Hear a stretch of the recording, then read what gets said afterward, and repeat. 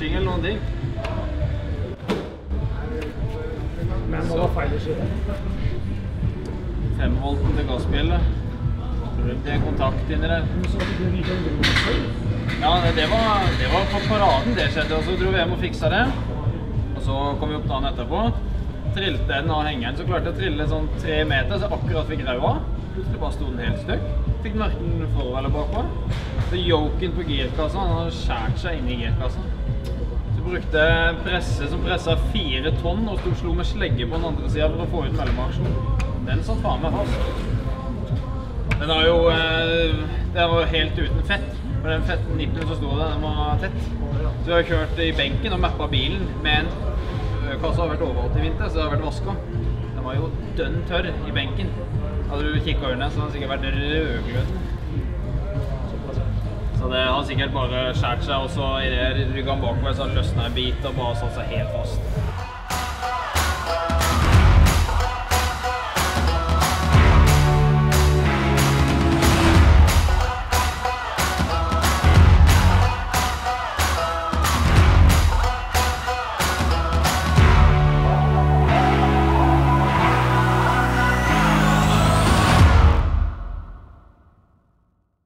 God morgen!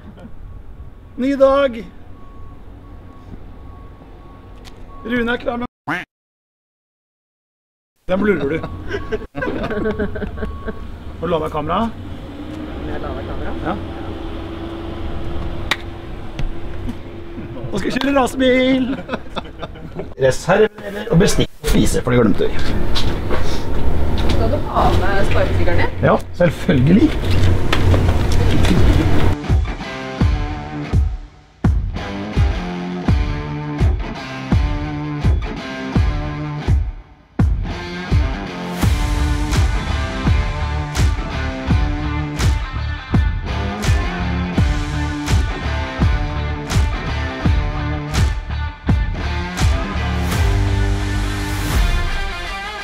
Da er vi utenfor her på Kiwi i Rakstad. Vi får sponsa all mat og drikke for hele helga. Dette kommer til å bli kjempebra, og tusen takk til Kiwi. Hvor, er vi her? på inn. Her har vi min kjære mor, som har støtta meg hjemme opp gjennom driftingkarrieren. Hæ? Du filmer meg? Hæ? Jeg er på jobb. Ja, det er fikk Ja, det er lov det. Så det er bra. Mari Astrid Ringnes.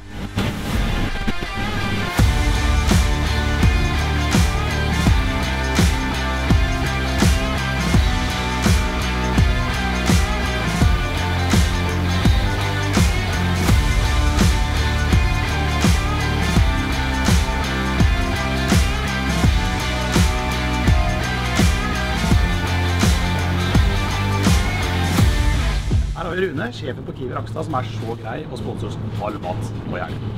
Takk, Rune. Vær så god. Veldig bra. Takk.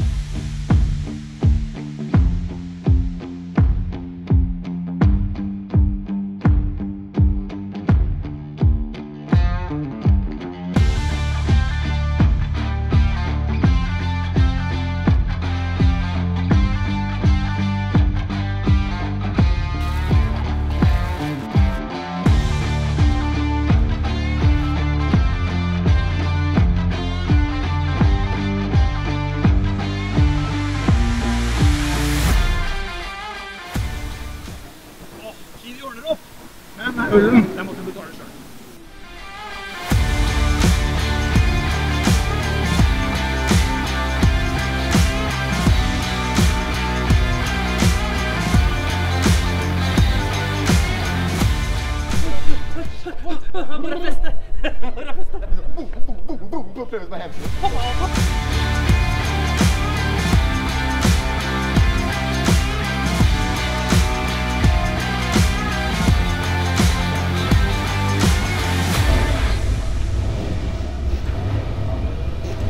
blir kjempebra.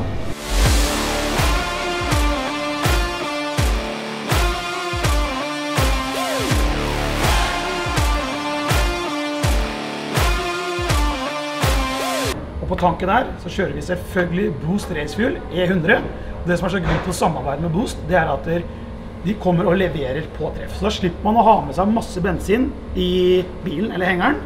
Det er øh, farlig for trafikken og heller ikke lov. Så nå er de her, så skal vi stikke bort og hente litt eh, Boost.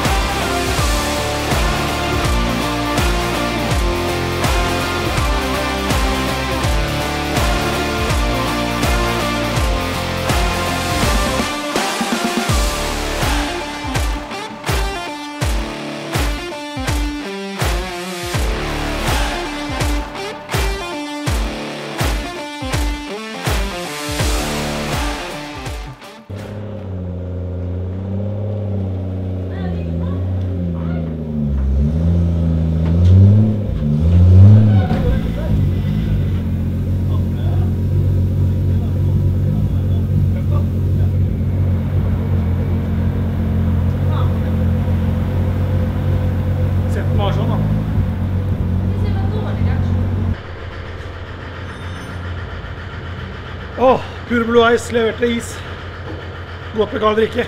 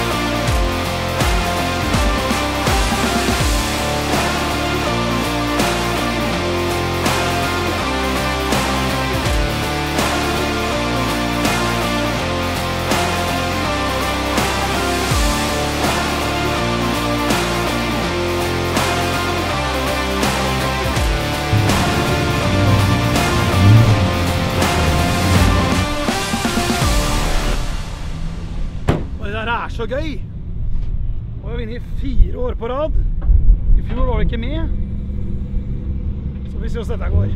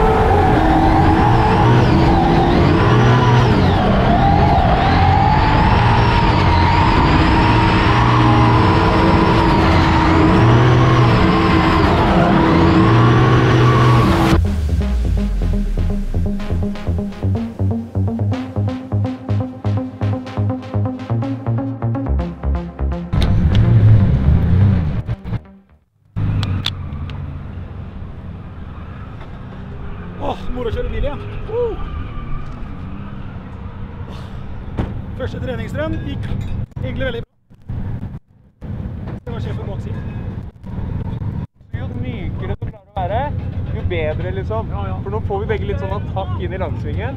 Og det, det er litt sånn vanskelig å liksom følge, da. For bilen var, jeg har alltid brukt fjerdegir. Ja.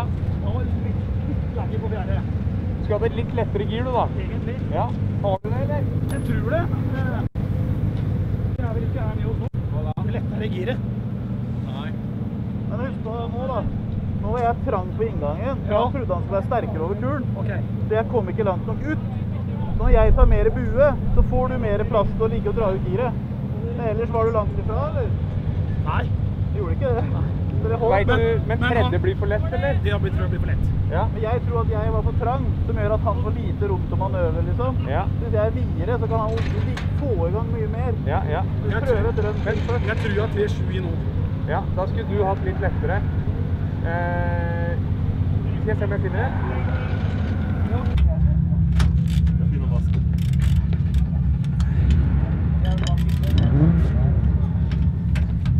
Skal på Eventuelt kan det gå litt tyngre å gå tredje, da. Nei. Nei, Nei. det tror jeg ikke. Nei. Det er bare jo mindre, jo mer du er på sperra, jo bedre er det for meg. Det er det, vet du. Ja. Treffer den sperra i det hele tatt nå? Det gjør det litt. Ja, ok. Men da litt lettere blir det bra. han, blir, han, du så jeg var. Han var ikke så flytruet før. Nei, nei. Men det kommer. Det var jo første rønnet, da. Ja da. Da Finn ut hva det står på den. Ah, men dem er Du har tungt oppe C. Du har, hadde du det lille oppe? Ja. Ja. Da er hva hadde du, sa du? 3-7? Jeg vet ikke. Jo, 3-7, det kan stemme det. Ja. Da får du da får du tre Hvis du setter i den eh, nede nå, og så setter du den oppe, Da får jeg da da får du 4-0. Ok. okay. Så var det 3-7 der. Ja. Alright. Ja, vi prøver. Ja. Så gromt å ha sånn eh, quick change diff, for da kan vi bare bytte utveksling på et par minutter. Så nå var bilen litt for tung, så bilen var litt laggy etter en dyr tur den litt sånn. Så da ble det litt wobling, så nå bytter vi for å prøve å få et lettere gir på, på fjerde gir. Så jeg kan få en fin flyt. Da tror jeg.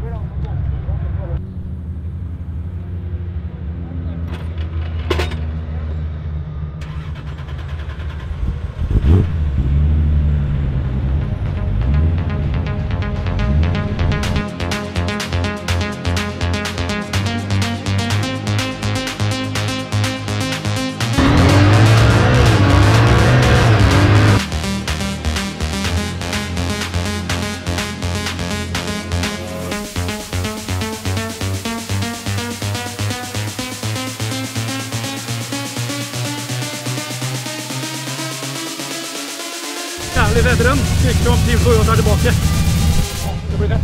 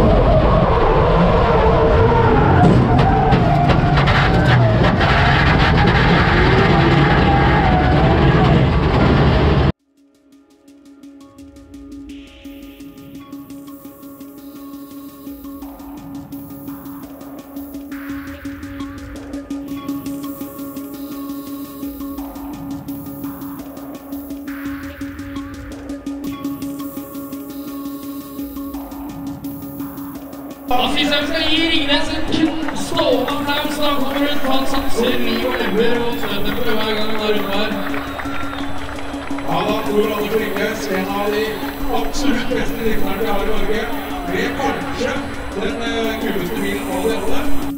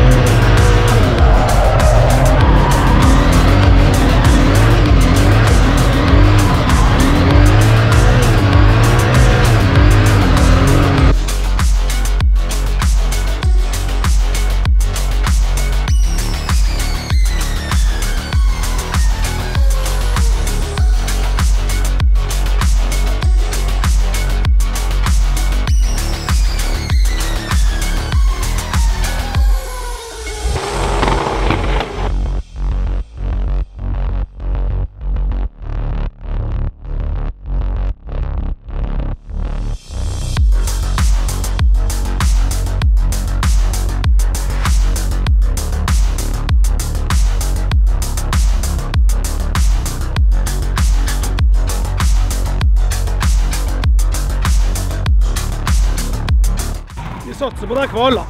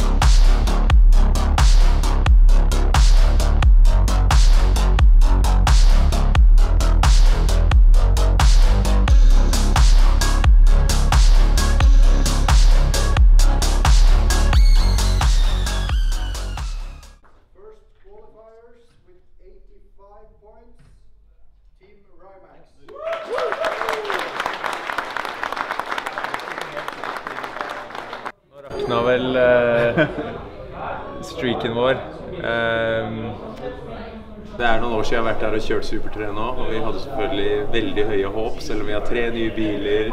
Lenge siden vi har kjørt Super 3.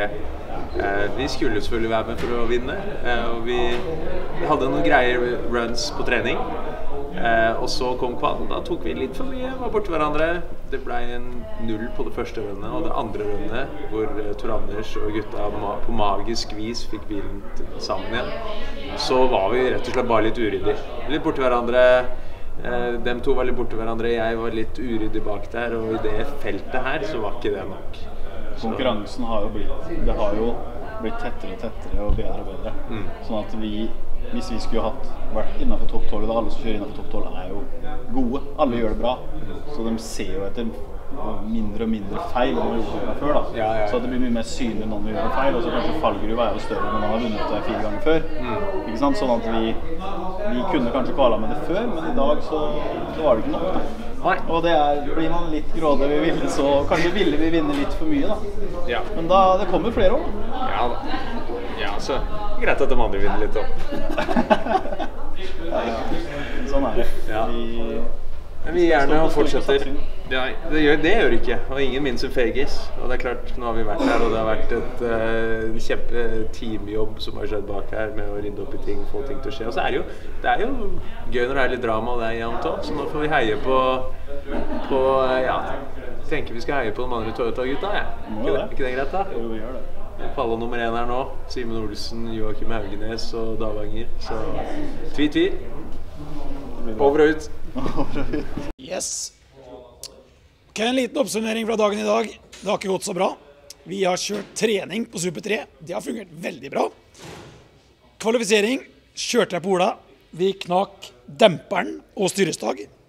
Hadde ikke med deler, men Simen Olsen han hadde en reservedemper. Jeg hadde styrestag. Teamet til Åsbø og Rune de fikk sammen bilen på 20 minutter. Dro ut i kvalrun 2. Kjørte et OK bra rønn. Vært inne på føremøtet nå fikk vite lista. Kvala ikke. Så gratulerer så mye til Team Rymax. De kvala på første. De som er grunn på dem, de kjører også Toyota. Så det blir veldig spennende å følge med på dem i morgen. Vi kommer til å kjøre masse frikjøring i helga.